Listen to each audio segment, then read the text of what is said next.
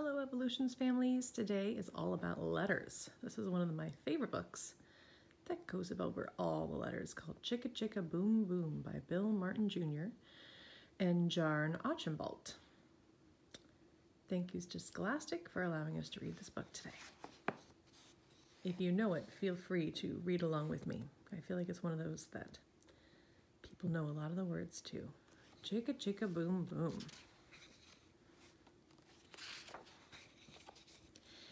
A told B and B told C, I'll meet you at the top of the coconut tree. Wee, said D to EFG, I'll beat you to the top of the coconut tree. Chicka chicka, boom boom, will there be enough room? Here comes H up the coconut tree. And I and J and Tagalong K all on their way up the coconut tree. Chicka chicka, boom boom, will there be enough room? Look who's coming, L M N O P. And Q R S and T Still more, W and X, Y, Z. The whole alphabet up the, oh no.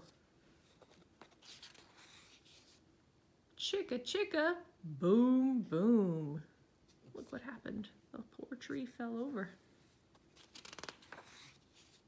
Skit scat, scoodle doo, flip flop flee. Everybody running to the coconut tree.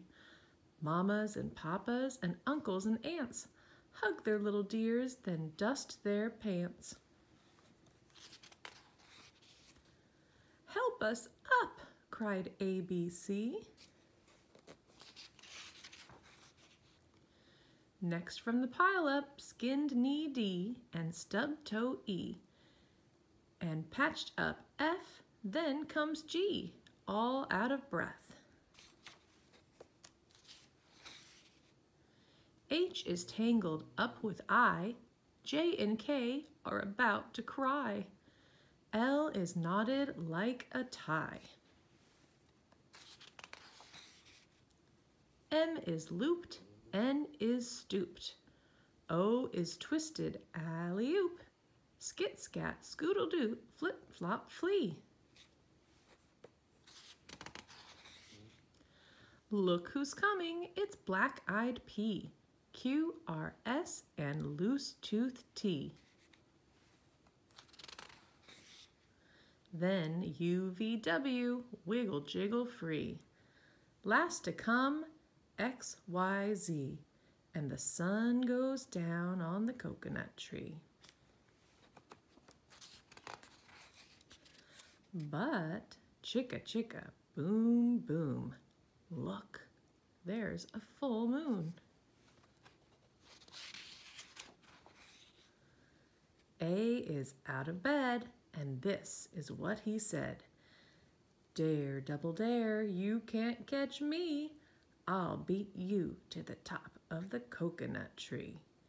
Chicka chicka, boom boom. What do you think's gonna happen if they all go up the tree again? I think they might fall like they did the first time. Look at all these beautiful letters. We've got uppercase letters and lowercase letters. Can you find the letter that your first name starts with? I see mine. Here's my big L for Miss Lisa. Here's the big A for Mrs. Allie. Here's the big M for Mrs. Miranda. And here's the big E for Miss Ellie.